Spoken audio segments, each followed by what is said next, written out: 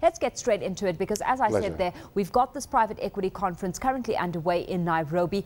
What appetite is there for private equity on the east of the continent right now?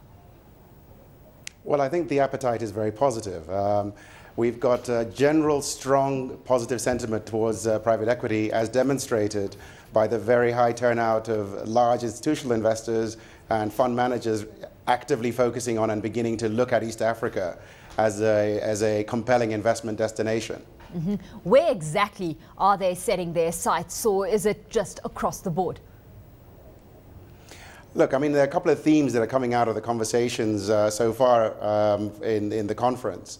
Uh, one is the uh, increasing appetite and interest in the sort of Africa enterprise, uh, markets that were actively uh, dominated by multinationals historically.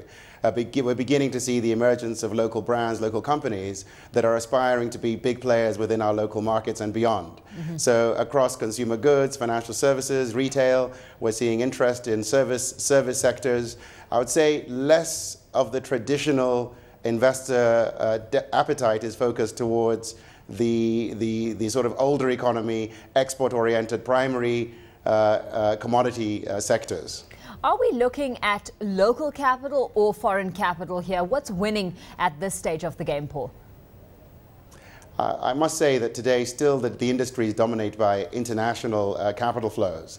Uh, we had a, a good representation of policymakers, whether it be capital markets, pension fund regulators, uh, participating in the conference with the aim of sort of trying to bring uh, the regulatory framework up to a point in this region where we'll begin to see greater capital flows coming from some of our institutional investors from within the region.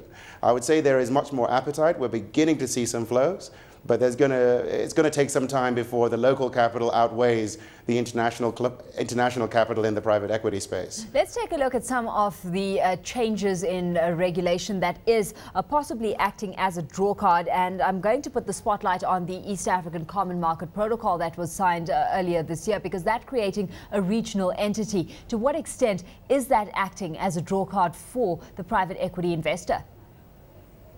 Oh, I think it's fundamental. I think it's a big factor. If you look at our economic performance across this region, you can almost correlate it to a couple of key things. One is obviously the improved macroeconomic management across the region, but increasingly towards the convergence of macroeconomic policy, uh, fiscal policy across the region.